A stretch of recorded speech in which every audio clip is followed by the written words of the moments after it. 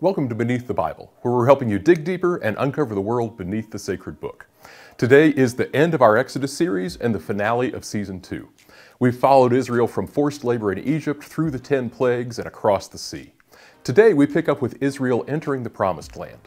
Now I know we've skipped 40 years of excitement in between, but we did this because the settlement of Israel is a bit of a hot topic in the world of archaeology.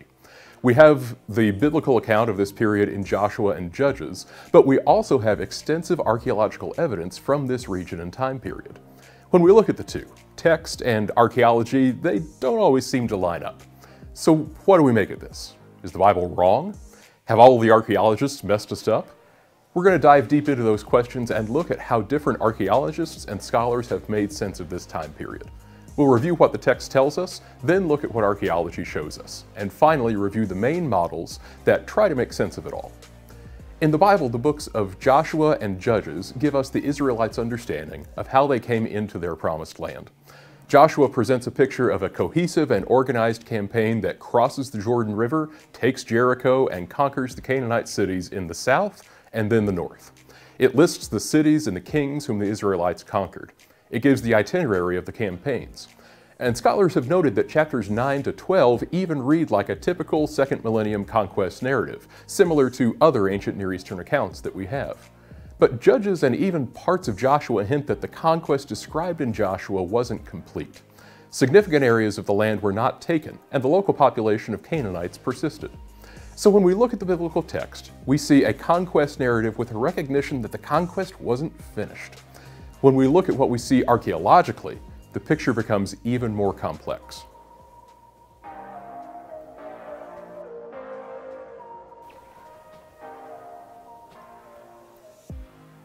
Israel emerges as an archaeological entity in the Iron Age 1. We have a whole video reviewing this period you can watch here. So we won't review this whole period and we'll just highlight what's important for today. During this period, the highlands of Canaan saw an influx of new settlements. Hundreds of small agricultural villages popped up in a relatively short period of time. This is a highly concentrated influx that we don't see elsewhere, even in adjacent areas with a similar material culture like the Shfela and the Negev. The shared material culture of these settlements means that archaeologists can tie them together. This means that they use similar pottery, for example, which may seem like not much, but it points to things like a shared diet. And if everyone is using the same kind of dishes, they're probably making the same kind of food. The emergence of a distinctly Israelite material culture during this time period points to Israel's differentiation of itself from its neighbors. These settlements demonstrate a pork taboo, for example, with almost zero pork bones, um, pork bones among their remains. Another marker of these new settlements is that they completely avoid the elegant Philistine pottery that we see in neighboring Philistine and even Canaanite sites. These sites don't use decorated pottery at all, really. They practiced simple inhumation burials, they even had a similar house form and structure. In short, these new settlements seem to have a lot in common, and scholars have long identified these new settlements as Israelite. But while there were new settlements established during this period, there were also some settlements that didn't survive the Bronze Age, Iron Age transition. Hatzor was burned, Bethel was burned, others like Bet Shemesh, Timnah, Tel Beit Mirsim were all destroyed. Some of these sites had new settlements built on top that have Israelite material, and that Israelite, and that Israelite pottery that they shared isn't really distinct from Canaanite pottery. It continues the Canaanite traditions of the Bronze Age, but with a smaller amount of forms and types. Settlements are also concentrated in the highlands, and the lowlands seem to have fewer settlements in them.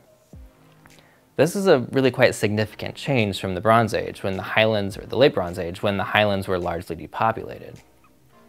So this is the archaeological signature we have of the emergence of a people called Israel in the highlands of Canaan at the start of the Iron Age. Book and archaeology tell us about how the land was settled. We're going to look at several different, several different models that scholars have proposed for how this settlement took place. The first model which was put forward by archaeologists is the so-called conquest model. This was championed by William F. Albright, a pioneer in Syro-Palestinian archaeology, as well as such figures as the Israeli general and archaeologist Yigal Yadin. This essentially sees the account in Joshua as more or less historically accurate. The Israelites moved into the land as a military force and conquered it. This is supported by all the destroyed sites we see, particularly Hatzor, whose destruction is described in Joshua 11. The problem with this model is that even if all these sites have destruction layers, it doesn't mean they were all destroyed at the same time. The date of Hatzor destruction has been questioned and other sites may have been destroyed at close to the same time, but archaeologically it's impossible to tell if they were destroyed a day apart or a decade or more apart. So while these destructions support the straightforward reading of Joshua, the reality isn't so simple. While the sites we've listed have destruction layers, many others have no destruction. Many sites did survive the Bronze Age Iron Age horizon and continued with a purely Canaanite cultural tradition rather than the new and distinctive Israelite cultural tradition. The next model is known as the peaceful infiltration model. This model was proposed by a German scholar named Albrecht Alt. This suggests that the Israelites did not conquer the land, but moved in from across the Jordan as a peaceful wave of migrants who filled the demographic void of the highlands. This model posits that the site destructions that we see during the period are quite minimal and can be explained as inter-city conflict amongst the Canaanites. We know these kinds of conflicts happened among Canaanite city-states, so there's no need to attribute it to an organized army of Israelites. In fact, the Israelites have a lot in common with the Canaanites, uh, adopting large parts of their culture as they gradually infiltrated into the highlands and moved from a nomadic or semi-nomadic life to a more stationary agricultural lifestyle.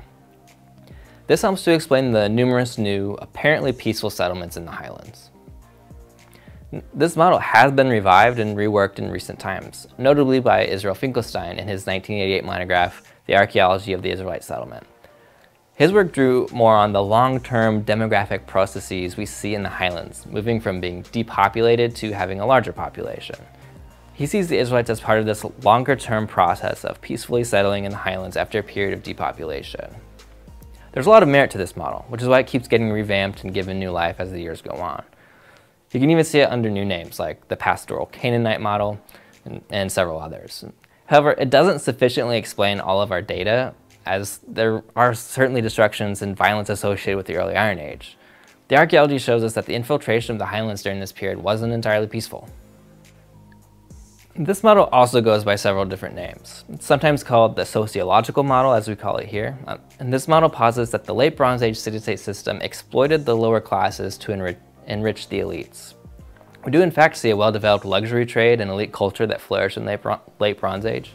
And this model attributed to George Mendenhall suggests that the exploited urban peasants rose up and revolted against their Canaanite overlords and retreated into the highlands for a more idyllic rural agrarian lifestyle, free of the bourgeoisie overlords. This would explain both the destroyed Canaanite urban centers and the similarities between Israelite and Canaanite culture. While this model may explain some things in theory, there's no direct evidence of any such revolt. Also, you can probably tell from the language used in the model it is inspired by Marxist ideology, specifically that of class conflict. And in a somewhat ironic twist, this Marxist theory is sometimes called the revolting peasants model of settlement. While the overlay of Marxist ideology on this model doesn't make it wrong per se, it's important to realize that this model starts with a predetermined framework and fits the archaeological evidence into that framework, rather than uh, allowing the archaeological evidence to guide the formulation of the model. Yet another model has been offered by an Israeli archaeologist named Shlomo Bunimovitz. His model is, some, is in some ways built off of Finkelstein's model. Both Finkelstein and Bunimovitz focus on long-term demographic shifts between the highlands and lowlands.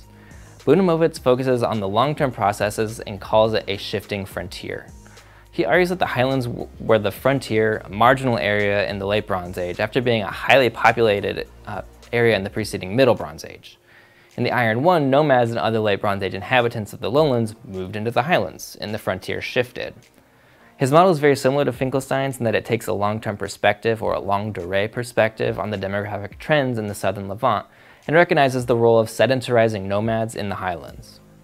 Israel is just a part of this long-term process. This model differ, differs largely just in what it focuses on, long-term trends. And this is admittedly some, something Finkelstein does an excellent job highlighting in his own model, but Bunimovitz focuses on these trends and sees the One settlement as part of this long-term cycle of shifting frontiers. This model works well, but is perhaps a bit more descriptive than explanatory. A relatively recent model has been suggested by Ann Killebrew. She discusses it in her book, Biblical Peoples and Ethnicity, and we'll put the details in the description below. I really like this model, because it not only recognizes the messiness of the data we have, but it's strengthened by the data, something that can't always be said about other models. Her model uses what we know from cultural anthropology and identity formation and recognizes this is a messy process. The group that became the Israelites may have been a motley crew in the Early Iron Age. Could it have included disaffected urban Canaanite peasants seek, seeking a new life? Sure. Could it have included nomadic or semi-nomadic people settling down for a new agrarian lifestyle? Sure. Could it have included an exodus group of Asiatic peoples who left forced labor in Egypt and settled in the highlands? Sure. All of this is possible given what we know of the time period, and there's evidence for this mixed multitude in the biblical text itself. In Joshua, the Gibeonites are non-Israelites who are incorporated into the Israelite community. Rahab and her family are residents of Jericho and are spared the, and join the Israelites. The text of Joshua makes it clear that the land wasn't fully depopulated, and the archaeology certainly makes it look like this was a mixed group. What unified them was a shared sense of identity, an identity focused on their relationship with their God. What this mixed group had in common was an ideology that centered around the worship of Yahweh. They had a special relationship with a God who revealed himself to the Exodus group in the desert. This is what made them Israelites, and this, even more than their material culture, is what distinguished them from their neighbors.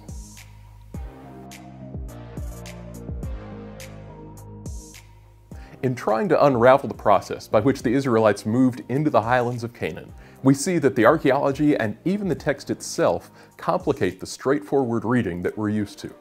Now, this doesn't mean that the biblical account is wrong or untrustworthy. It just means that as modern readers, we have some work to do to piece together the text we've received and the evidence that we've uncovered. Rather than destroying our faith in the text, this process can actually help us understand it better and read it more faithfully. Now, while none of the models we've examined today fully explains the complicated process by which the Israelites entered the highlands, each contributes something to our understanding of the geographical and socio-political process of the Israelites settling the land. For example, while the conquest model has been shown to be lacking in historical and archaeological evidence, it does give us insight into something equally important.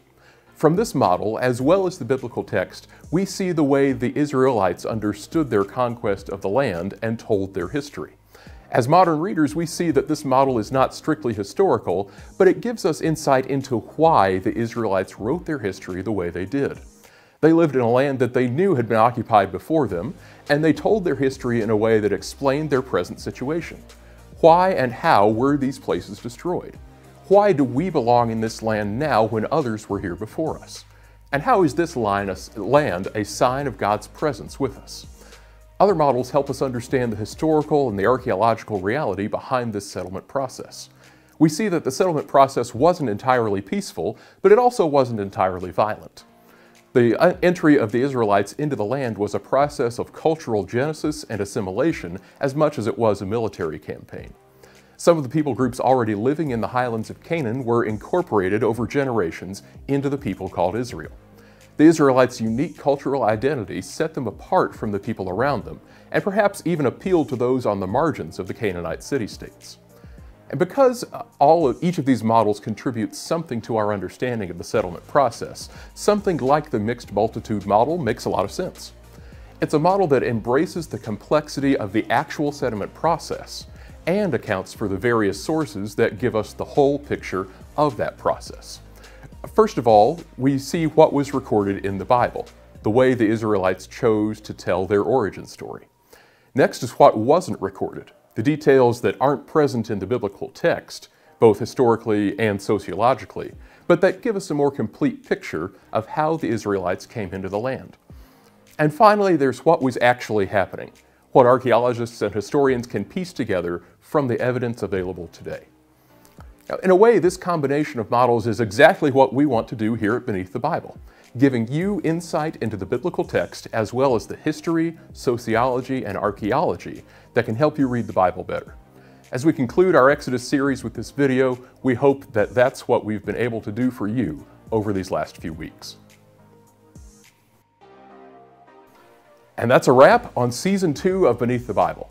Thanks for joining us this season, for all the support you've given us, and the great questions you've asked, and the challenges you've posed. And we've got some cool stuff about the minor prophets coming your way over the summer, plus some great videos about ancient Near Eastern mythology to kick off season three in the fall. We're going to take a few weeks off for now, so be sure you're subscribed so you know when we're back. As always, if you're interested in learning more about this topic, we've included some references and resources down in the description. If you enjoyed this video and you want to see more content like it, in addition to subscribing, you can follow us on Facebook and Twitter at Beneath the Bible. And if you learned something new today, take a minute to share this video with your friends. And until next time, keep digging.